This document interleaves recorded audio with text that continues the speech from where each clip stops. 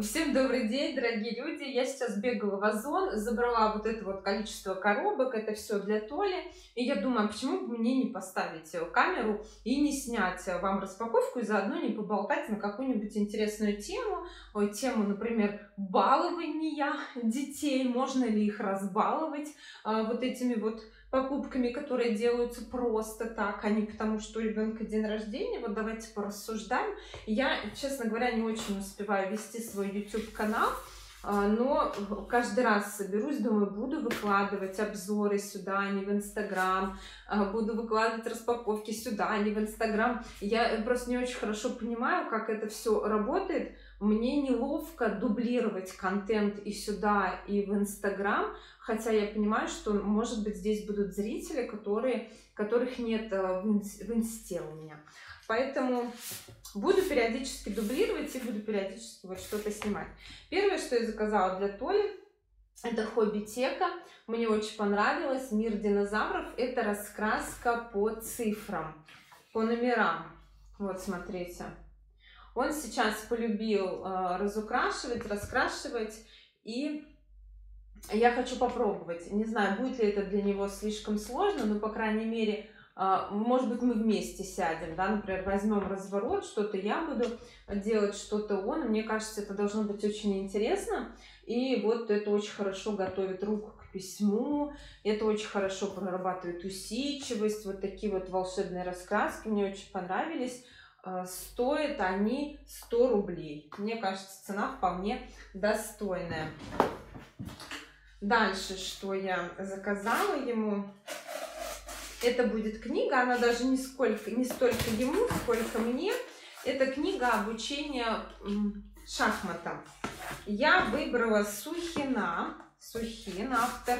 А, почему? Потому что я помню, когда меня учили играть в шахматы, я вот часто слышала эту фамилию Сухин, Сухин, Сухин. И когда я начала выбирать какие-то пособия по шахматам, вот увидела Сухин, и думаю, а я возьму. Тем более книга называется «Шахматы. Полный курс для детей». Видите, тренажер по правилам игры и развитию логического мышления. Пока ничего не могу сказать про эту книгу. Так все сложно. Меня не так учили в шахматы играть, меня учили просто тыкать по доске. Ну, в общем, должно быть э, все наглядно, судя по отзывам. Я не знаю, скажу вам потом свой отзыв. Меня заинтриговало вот именно название «полный курс», то есть от начала и до конца. Мы должны вот это все пройти. А дальше здесь уже будет игрушка. У меня Толя очень заинтересовался волчками Infinity надо. Причем это так интересно. У меня был мальчик на диагностике, дошкольник. Как раз вот он в этом году он идет в школу.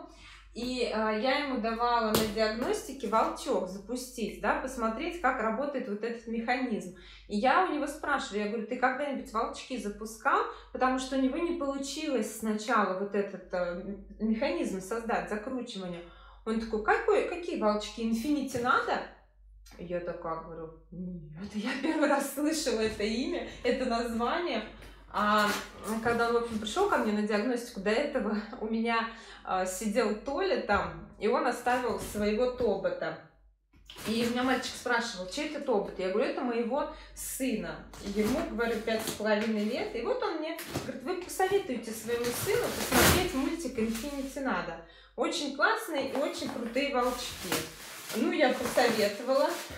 И вот мы теперь покупаем эти волчки. Причем я купила сначала ему бюджетный вариант.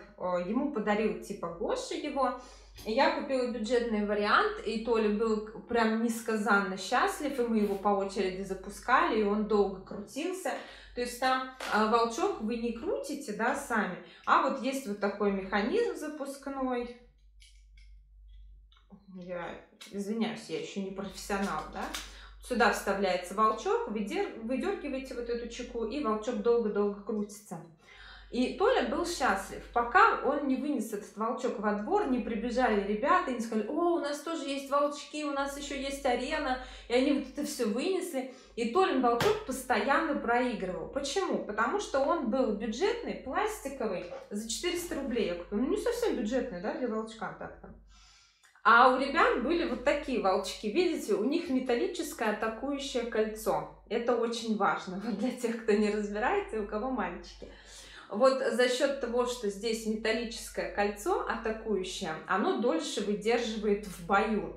И мы заказали уже, ну я думаю, что они каждый день, у них эти батлы. Толя постоянно проигрывает. Периодически, конечно, они меняются там волчками, но пластиковый волчок все равно не выдерживает против вот этих тяжелых металлических. Плюс здесь еще вот этот атакующий или нет, какой-то, тоже как-то это называется, что-то там вращение, ну, в мультфильме это все описано. То есть вот эту насадку, вот ее можно менять. Она может быть еще такой вот более плоской. Ну и все, вот волчок, а мы же еще дома хотим играть. И мы решили взять еще один волчок. Это я, ну, как будто я себе взяла, ну, естественно, Толя расплакался, сказал, нет, это будет мой. В общем, тут просто девочки, поэтому я буду за него сражаться с Толей. Вот с этим вот волчком я его сегодня Толе отдам. И э, когда мы начали дома запускать волчки с мужем, да, там и со мной, собственно говоря, мы поняли, что нам нужна арена для сражений, потому что когда мы в комнате запускаем, э, э, когда мы запускаем в комнате, они могут даже не встретиться, потому что они в разных участках а, поля находятся. Пробовали тазики, различные бассейны, обручи, ничего не получается. А, поэтому вот арена. Причем я сначала хотела заказать аналог. Я нашла там за 400 рублей какую-то арену, но она не такая, она без ловушек. Я ее показала Толе, Толя расплакался, что это не то. А, в общем, а вот эта арена-то, она стоит 2000, блин. Но я нашла на Озоне со скидкой за 1600. Вот такая арена. Э, пластик, кстати, очень тонкий. Но что я заметила? Это, кстати... Ой, помятая у меня. Так, все, выпрямила. Что я заметила?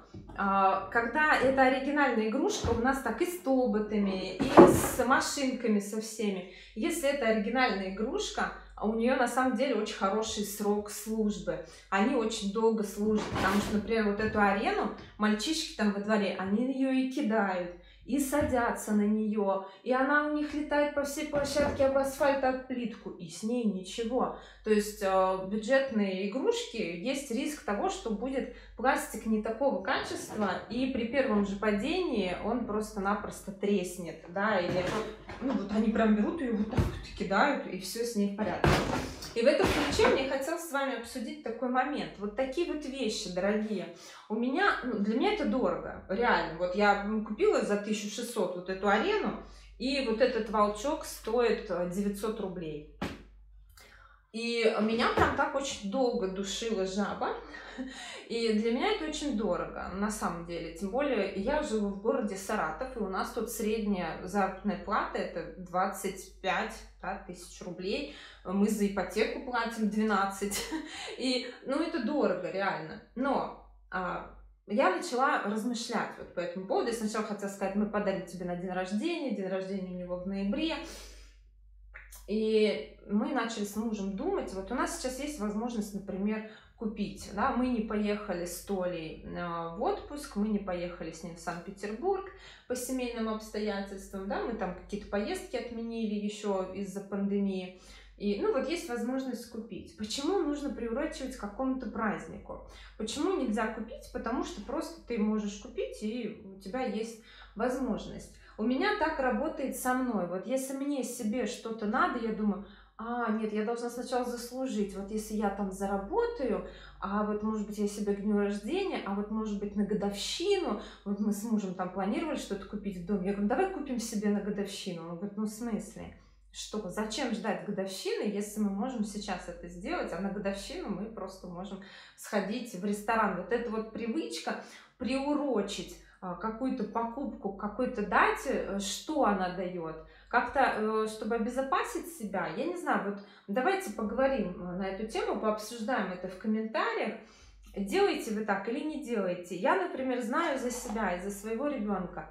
Если к 10 ноября у меня, да, 10 ноября у моего сына день рождения, если у меня не будет денег к этому моменту на дорогой подарок, я не буду себя чувствовать неполноценно. Я подарю то, что я сейчас могу подарить. И я не буду за это перед ребенком а, извиняться. Я вообще стараюсь тему денег, финансового благополучия я извиняюсь, что-то сбилось у меня.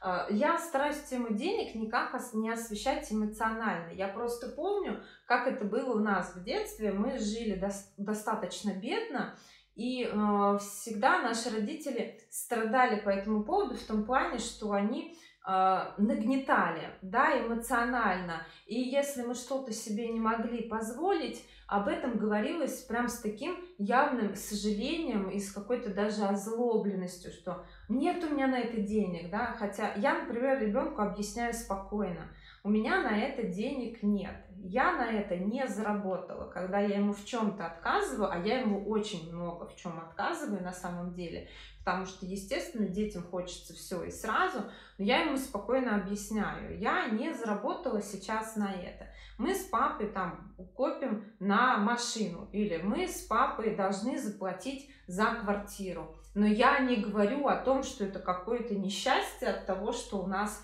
пока что только две комнаты, или от того, что мы должны в банк там какие-то деньги. Я стараюсь это вот не нагнетать, потому что мне кажется важна не сама ситуация, а важно отношение к этой ситуации. От того, что я не могу, э, я не покупаю никогда своему ребенку, например, дорогую одежду, потому что это все изнашивается, и вообще просто за месяц, за два ребенок может из этого вырасти, я покупаю всегда в каких-то бюджетных а, магазинах. Единственное, что я не покупаю, да, например, какую-то вещь, если на ней написано Adidas, если это не Adidas, да. Если у меня нет денег на спортивный костюм от Adidas, я куплю спортивный костюм в детском мире или там в спортмастере возьму а, но я не буду покупать какой-нибудь Абибос или Рибок просто для того, чтобы там было это написано. А, когда у меня есть возможность купить, да, или там есть э, скидка какая-то хорошая, я возьму. Но в целом я не покупаю ни дорогую обувь какую-то очень дорогую, покупаю хорошую, качественную, но недорогую. А, и я за то, чтобы просто об этом рассказывать спокойно. Вот, у меня нет денег на то, чтобы купить тебе, не знаю, там 11 iPhone или Samsung, я считаю это неразумным, да, вот у тебя есть телефон, который тебе достался от папы, и ты будешь им пользоваться, пока он служит тебе. И я стараюсь это э, каким-то ореолом э, безысходности не окружать. Что я еще покупала то ли в этом месяце, что не показывала. Я ему купила вот такую подставку для карандашей Marvel. У него все карандаши и фломастеры хранятся вот в такой сумочке. И это неудобно, когда это на столе. Да, брать с собой куда-то удобно, а вот на столе, когда ты сидишь, рисуешь, постоянно доставать из сумки, то есть они либо валяются вот так на столе, и он оттуда берет. В общем, купила я ему подставку Marvel, ему нравится очень Марвел, и я вот, помните, как-то покупала, а, показывала вам вот эту энциклопедию супергероев, я вам ее настоятельно не рекомендую, она вообще непонятно на какой возраст создана, то есть тут в перемешку непонятно к кому обращается автор, не то ли к малышу, не то ли к ребенку, которому уже 10+. Хотя написано здесь 7 плюс, ну какое-то вообще просто дикое сочетание э, самой разной информации. При этом я ему купила вот эту книгу Marvel в фикс прайсе, между прочим. И вот она потрясающая, классные истории а, про всех героев. Она очень похожа на то, что я покупала ему про Человека-паука. И вот это прям лайк, как говорит мой сын, очень классная книга. И э, в рамках этого, что я хотела показать, мы прочитали вот эти книги про детектива Хвоста, я сейчас заказала еще третью четвертую части, нам очень понравилось. Детектив Хвост, агентство, а, Гав Хвост, агентство Лапы и Хвосты. А, очень легко читается. Единственное, что мне здесь не понравилось, но это уже проблема издательства, то, что есть от опечатки. Их достаточно много на такие тоненькие книжки, вот прям чуть ли не на каждой странице. То э, буква, да, не там стоит, то что-то слитно написано, а не раздельно. То есть, ну, редакторы, конечно, тут прям схалтурили, но это не мешает. То есть нет таких прям опечаток, что ты не понимаешь, что происходит. Ну, там либо лишняя буква, либо приписка, в общем. А так книги прям классные, интересные. Мы с Толей читаем с удовольствием. Э, такие легкие детективные истории. И еще книга, которую я покупала, я ее покупала в книжном развале. Просто увидела, она меня заинтересовала про викинга Тапи. А, что в ней уникального? То, что здесь рассказывается история, например, вот она коротенькая, и потом написано, если ты хочешь, чтобы викинг встретился там, тогда поверни на 34 страницу. Если ты хочешь, чтобы викинг сделал это, тогда на такую-то страницу. То есть ты каждый раз можешь читать эту историю по-разному, каждый раз тебе задается вопрос. Если ты хочешь, чтобы Тапи отправился за мухами, перейди на такую-то страницу. Если ты хочешь, чтобы Тапи пошел в самую середину болота, перейди сюда. Очень классно, очень интересно, и самое главное, что можно менять вариативность и продлить наслаждение от книги на несколько месяцев. Вот такие вот у меня покупки. Пишите, что вы думаете по поводу того, чтобы покупать какие-то вещи, которые выходят из рамки вашего привычного бюджета просто так, а не в празднике.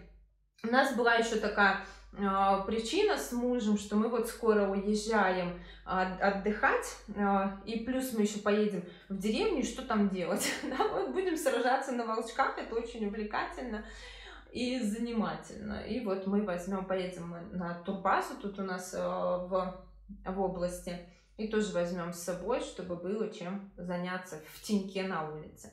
Вот, всем спасибо за просмотр, распаковали с вами все, посмотрели, и всего доброго.